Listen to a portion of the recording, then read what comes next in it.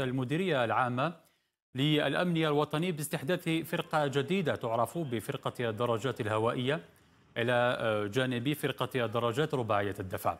هذه الفرق وضعت خصيصا للتدخلات السريعة على مستوى الفضاءات العمومية الكبرى كمتنزه الصابلات ومتنزه الجميلة وكذا السهر على راحة وأمن المواطنين من خلال تدخلاتهم في الأماكن الآهلة بالمصطفين وهذا بالتنسيق مع الوحدات الأمنية المتواجدة في تلك النقاط بهدف ضمان طمأنينة وراحة المواطنين لقضاء موسم الصيف في أجواء مميزة. ميكروفون إبراهيم برقاش.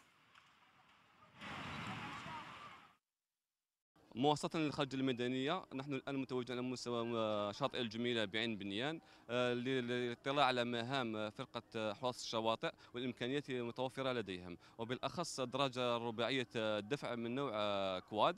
هذه الدراجة الرباعية بالإضافة إلى دراجات فرقة فرقة الدراجات الهوائية.